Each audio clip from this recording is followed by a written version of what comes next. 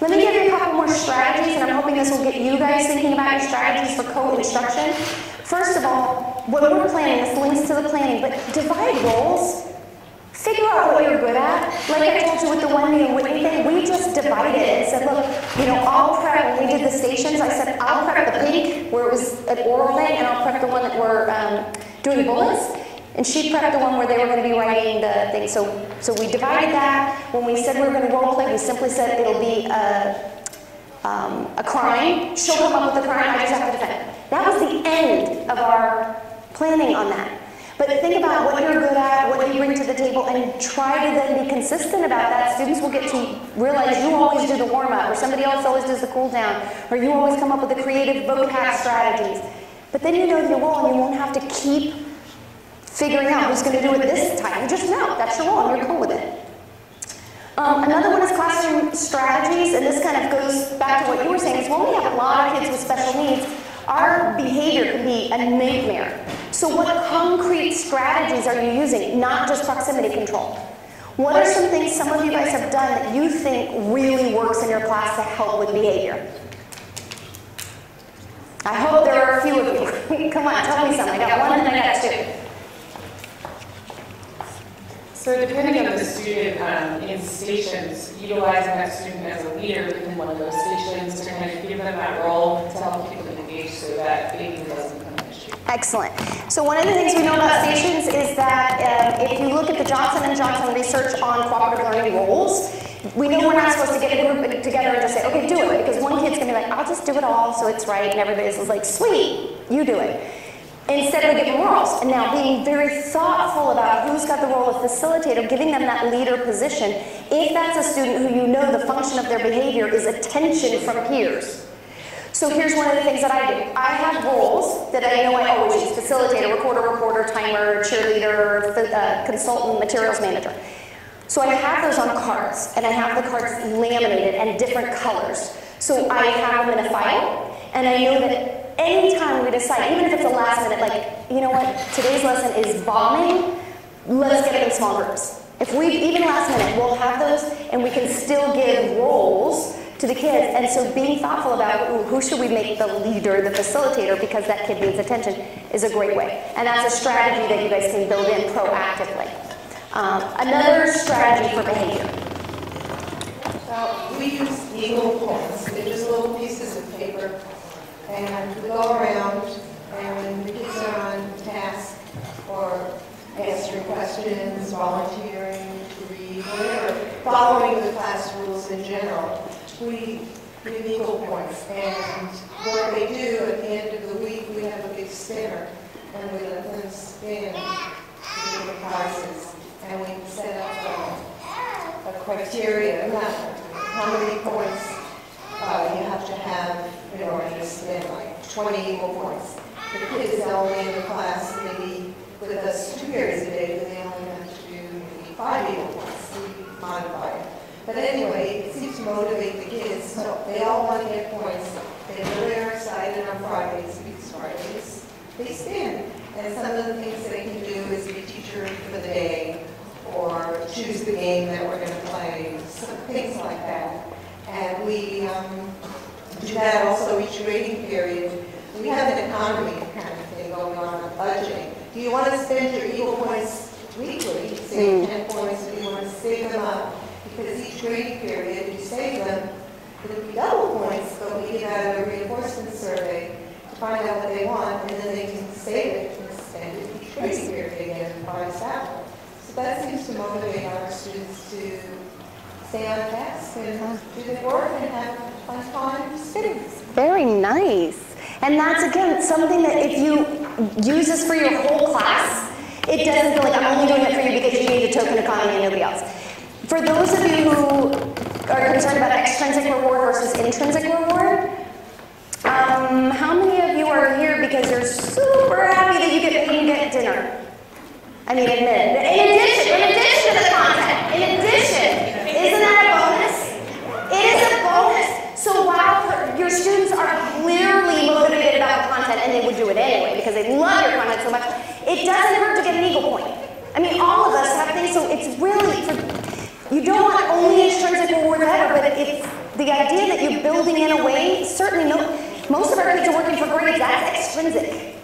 Right? So the kids who are not motivated by grades, building in points is fine, especially if it's not just here's a candy, here's a candy, like they're little, you know, animal or something and we're throwing them food. I like it that they have to wait for a little bit and then you can scaffold that. For some kids, they might get a point that day, others you, you're able to wait because they have that control that others don't. So great. Um, one of the things, or a couple things that I put up there. Have any of you ever had a time when you're in the middle of the most brilliant lecture you have ever given, ever, and you've got that kid who clearly is into it with you, and they're like this because they want to participate, and you throw it to them like, yes! And they say, right. Ever? Oh, okay, so, and wait. So one of the things that I learned that I have to have my students, all my students know, and my, my co-teachers know, is we do this. We do the sign language for toilet. And that way they, you know, if they're looking at me like this, I know it's not my brilliance that they want, it's the bathroom. Right? So teach your students to do language so at least you know what they're, they're asking and then you can choose a yes or no. Or have asking cards so they get a certain limit. Um, for those of you who are trying to figure out the, the hand signal, put your hand up. Everybody open hand. You're putting your thumb between your first and second finger and then you're shaking it because that's a T in sign language and it's toilet. Don't do the R thinking that, oh, I'm saying restroom. You're saying ready. So, ready for what? Go potty. Thanks. All right, so having little, little signals. Um,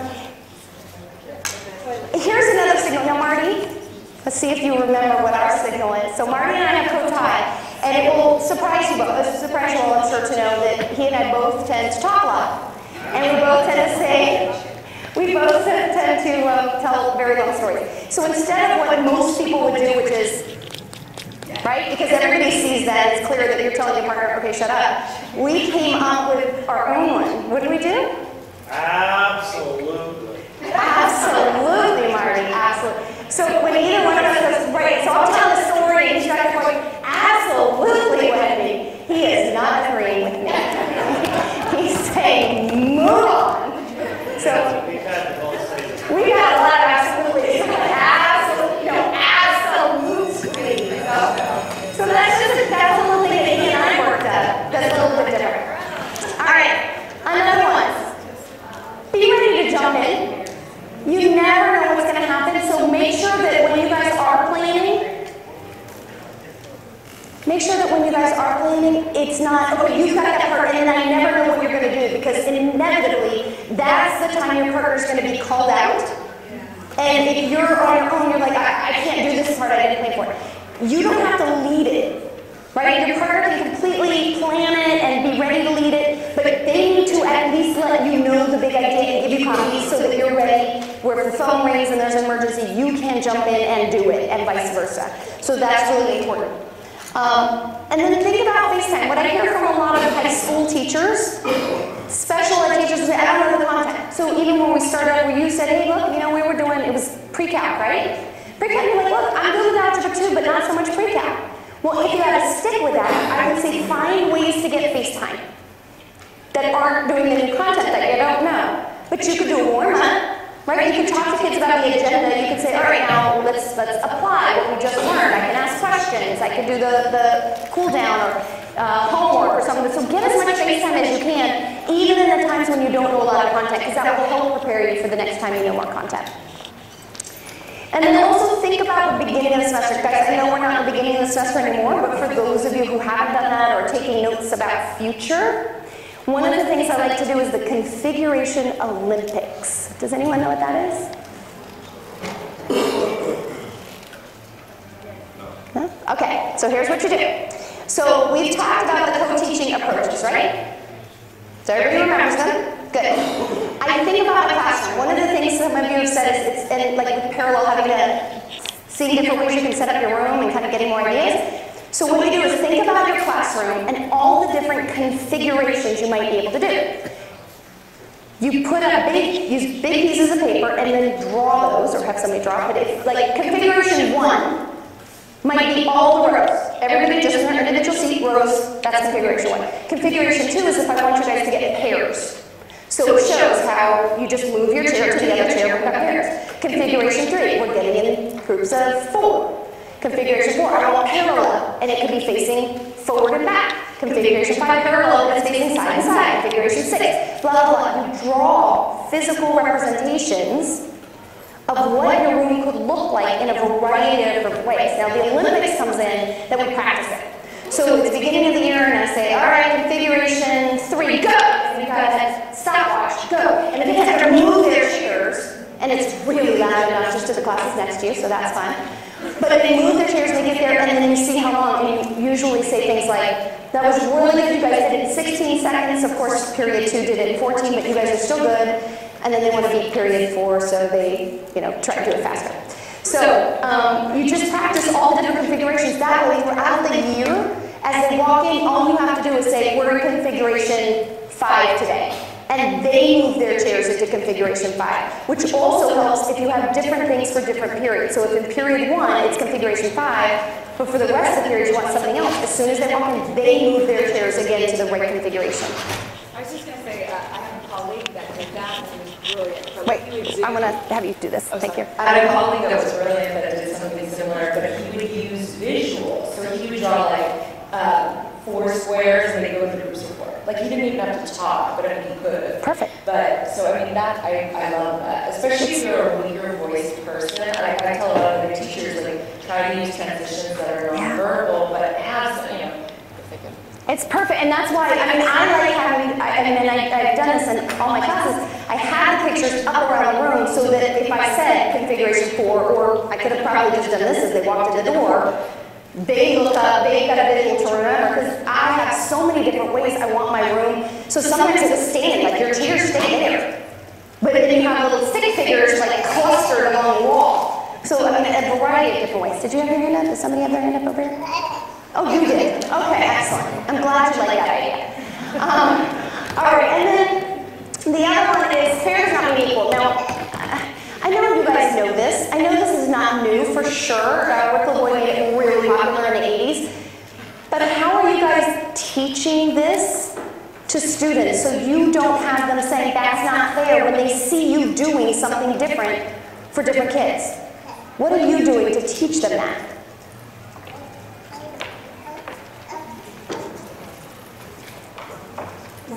Nobody actually teaches it, you just say, shut up, deal with it. You teach them about equity, tell me what you do.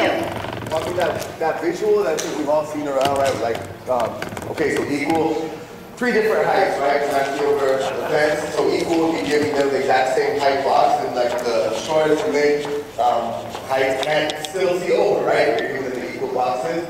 Equity would be giving the taller box to the shorter person, they can still see over, and then the, uh, the right side boxes to the others, right? So basically, giving um, what they need, right? Being and adaptive rather than. Equity, what. And Lucy will elaborate. Um, I have another thing that I, I read about over the summer and I loved it. Um, you give a handful of students, like on the first day of school, uh, a card with an ailment on it. And so they come up to you, you're supposed to be like the doctor, and they tell you what's troubling them, and you just give everybody a Band-Aid. And uh, of course, for some people, Band-Aid's not enough. And so it's not about being fair, well, I'm fair, I gave everybody the same exact thing, but uh, I, uh, that's not what everybody needed. Awesome. And this is the one I was talking about. Yeah, I'm about to put it up for everybody. I've got it. So, I love, love, love that you did this and we didn't even plan it in advance. This week, on Thursday, I was the keynote speaker at the California Inclusion Conference. And so one of the things I did was talk about equity in a world wanting equality. So those of you who want this idea, go to Pinterest. Pinterest is fantastic, and it will give you the whole thing about how to do this activity with students. Um, so we have, we have a whole bunch of different examples. Oh, here's, try this one. Could you please shovel the ramp? The guy says, all these other kids are waiting to use the stairs. When I get through shoveling them off, then I'll clear the ramp for you. And the student says, but if you shovel the ramp, we can all get in. So show, show that visual, have a conversation with.